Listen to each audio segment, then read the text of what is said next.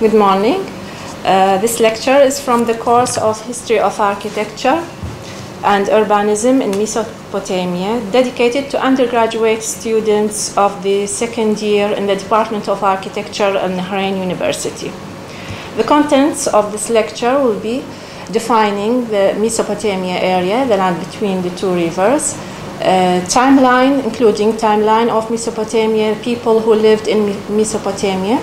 Second topic, we'll go to the origins of Mesopotamian cities, and uh, finally the components of Mesopotamian city. Mesopotamia is widely known as the land between the two rivers, the Tigris and the Euphrates. It covers all modern Iraq and the northern eastern part of Syria, bounded by the Euphrates to its west. This geographical region has been differentiated by scholars and culture, uh, ecolog ecologically and culturally into two zones, Lower and Upper Mesopotamia. Lower Mesopotamia is flat and dry, but with alluvial plains and herding lands extending in southern Iraq. Permanent settlements depended for irrigation on natural or artificial watercourses. It was known in early times as Sumer and Akkad, and after the second millennium before Christian era as Babylonia. It includes the marshes area, which represents a rich and uh, a rich source of aquatic resources. Upper Mesopotamia, known in later times as Assyria, is more varied in relief and received enough rainfall to enable dry farming and settlement through the countryside. Babylonia and Assyria represented two different cultures in many aspects, yet they became intrinsically bound after the mid of the second millennium before Christian era, and Assyria adopted many of Babylonians' traditions, and the concept of the city itself may have been introduced to Assyria from the south. Regarding the timeline of uh, Mesopotamia, we can see that subsequent cultures started implanting the seeds of civilization in the region as early as the 6th millennium before Christian era. Their remainings are mostly pottery artifacts. The culture of El Obeid, whose traces is noticed by the dawn of the 4th millennium before Christian era, is the first to show evidence of temple building and other sophisticated architecture. However, urbanism in its contemporary meaning started with the Sumerians, who invented the writing around 3200 BCE, and with it uh, emerged their first cities. Sumerians settled in the south of Iraq. Their origin is still unknown for archaeologists. The Akkadians formed the first Bedouin immigration to Mesopotamia from the Arab Peninsula. The Amorites, Assyrians, and the Chaldeans followed, and their cities filled the map of Iraq and the surrounding area. Origins of Mesopotamian cities. Uh, regarding their origin, Mesopotamian cities could be classified in two groups. The first includes cities which grew gradually from old agricultural settlements. The second covers cities that were erected by political volition. The earliest cities in lower Mesopotamia are mostly of the first category. They grew from development of older settlements in Neolithic or Chalcolithic prehistory in the 6th millennium uh, before Christian era or earlier, as mentioned previously. Then followed by economic and social developments through the 5th millennium and beyond early urbanization. Hence, the entire process from permanent settlements in southern Mesopotamia to the first cities there took an enormously long time. Yet the outburst of the city by the fourth by the mid 4th millennium BCE, with the city of Uruk as the earliest model, seems to occur relatively suddenly. Several theories were envisaged discussing the origin of these ancient cities. The approach argued by Robert McAdams has long been the most adhered to among scholars. Adams emphasized the role of the city as an organizer of the redistribution of ag agricultural and pastoral products. He suggested that the agricultural development in ir uh, irrigated farmland with the surplus in food that appeared led to the need for a mediatory role for the exchange of goods. Social stratification followed and classes gradually replaced kin-based groups. Finally, an upper class took hold of the whole management system of the resources. This elite would have first been the temple priesthood, which justified its leadership through religion. Centuries later, secular and military authorities usurped the temple. The undertaking of building new cities was known in Mesopotamia as early as the Akkadian era.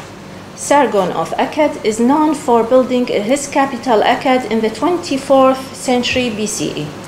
And the Kassite king Kurigalzu I built Dur Kurigalzu north of Babylon in the 14th century BCE. But the cities which gained the most importance for their majestic realization are those of capital, those capitals of Neo-Assyrian Empire in the first millennium BCE, such as Kalhu, Kar-Tukulti-Ninurta, and Dur Sharrukin. Justifications of these decision, decisions sorry, are not elaborately cleared in inscriptions. For the building of Kalhu, Ashurnasirpal merely states that the city built by his predecessor, Shalmaneser, had become dilapidated. And for the building of Kar-Tukulti-Ninurta and Dur-Sharrukin, divine requests are claimed by Tukulti-Ninurta and Sargon II, respectively. Nevertheless, scholars listed several motives for such endeavors, including population pressure, economic growth, security issues, and the increased desire for the visible representation of royal power. Equally acknowledged was the Assyrian king's desire to outrank Babylon, the central rival in size, splendor, and religious prominence. Here we can see two cities from Upper Mesopotamia. Assyria, a gradually developed cities with its irregular shape and Khorsabad of Sargon II with its square walls and formal castle of palaces in the north. Components of the Mesopotamian city. Uncovered sites of different Mesopotamian cities show shared characteristics. And we can use the model of the city of Ur and other cities which enjoyed a great deal of work by archaeologists to display these aspects.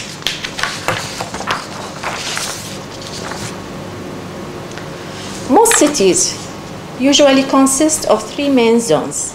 The first one, one or two centers comprising the religious and administrative institution Second, the surrounding area of residential neighborhoods. And third, the peripheral zone, which includes the wall and gates, and uh, with them the left spaces inside the city and the surrounding area outside.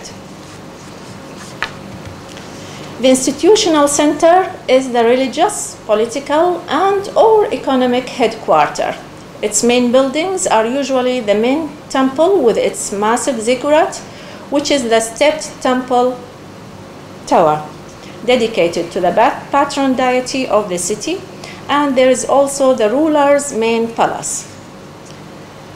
These are often surrounded by an inner wall, together as in Ur and Dur Sharrukin, or separately as in late Babylon.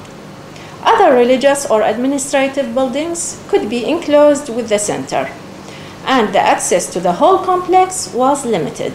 The center complex served as a focal point and a prominent landmark in the city with its monumental scale of architecture characterized by decorated buttressed walls and projected formal entrances.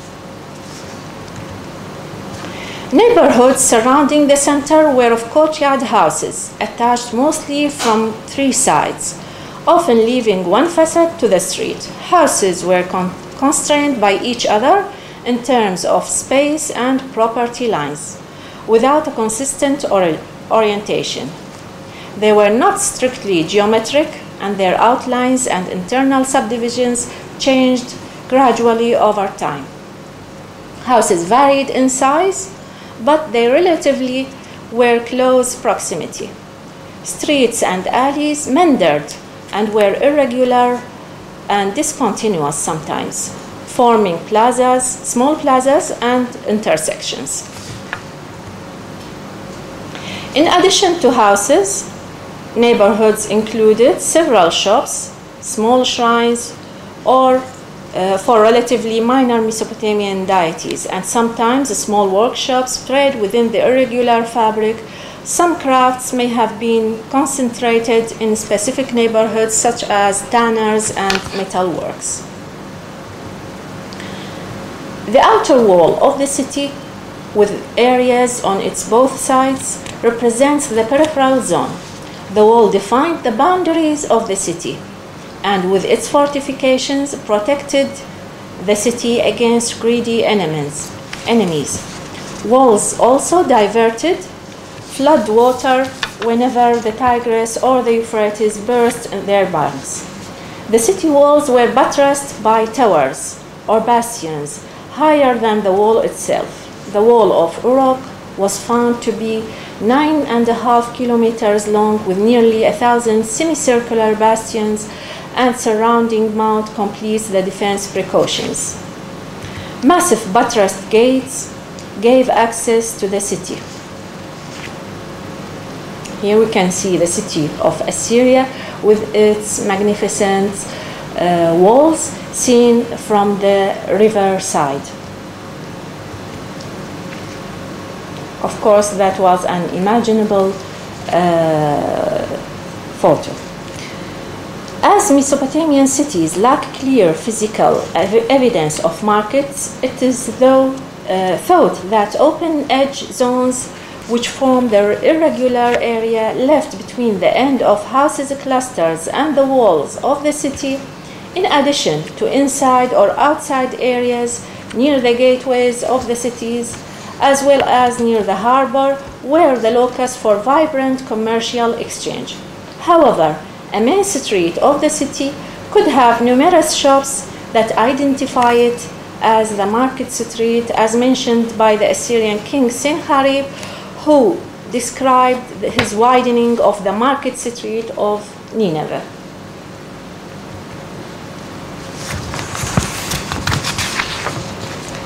Canals and watercourses served as a source of water for inhabitants, in addition to being major routes for communication and trade, especially when extended uh, out from the city. In some cities in lower Mesopotamia, canals running through the city end up in harbors, as we can see here in the city of Ur, sorry, who had uh, two harbors, and also the city of Meshkan Shapir, who had two harbors also.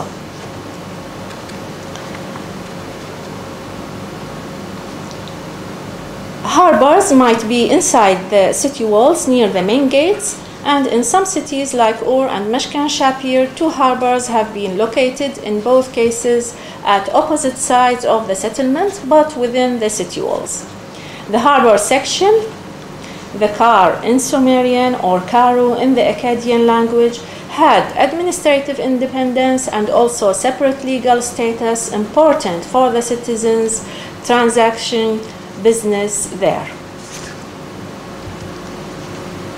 In Upper Mesopotamia, although wells might have been the main sources of water for neighborhoods, Assyrian kings were keen also to provide their cities with additional water sources.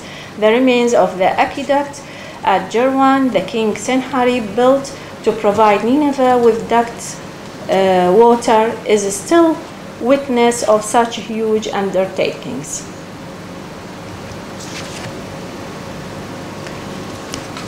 Gardens and orchards were also an urban phenomenon of uh, southern Mesopotamian cities, as well as Assyrian cities in the north. They were places for recreation and relaxation. The Epic of Gilgamesh from the mid 2nd millennium BCE tells that Uruk had third of its land for gardens and the two other thirds for temples and houses.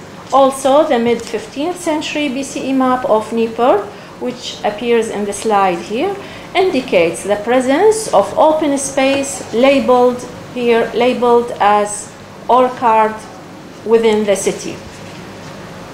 Resources confirm that from at least 2nd millennium BCE, Mesopotamian kings who campaigned abroad and received exotic gifts from foreign vassal rulers took a great interest in strange plants and animals which were presumably kept at some distance from the palace, if not outside the city walls. Cities also contained major thoroughfares, which had lustrous names like Pray and He Will Hear You in Babylon, or named after a god or an ethnicity group. More minor streets and alleyways existed also, sometimes named after the principal resident. These streets vary in width and length according to the city size and density of its population, and to what extent its administration authorities undertake maintenance. Nebuchadnezzar II paved the processional road of Babylon, which can be seen here in the map, from out of the city through the Ishtar Gate to the temple of Marduk. Here, the Ishtar Gate and the processional road, and here the Marduk temple. And adorned, he also adorned its flanking walls with glazed ceramics with reliefs. Minor roads, whether straight or not, were sometimes paved with stone or gravel. Finally, it's worth mentioning that the prominent type of burials in ancient Mesopotamia is known to be underneath the floors of the houses in burial chambers. And such chambers were also found in palaces. However, cemeteries in or outside cities were also known. The city of Ur had a large cemetery in the center of the town, which was in use for several centuries in the middle of the third millennium BCE. Thank you very much.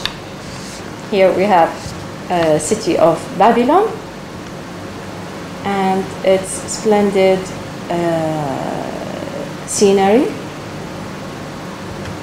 And with this, we finalize our uh, lecture for today. Thank you.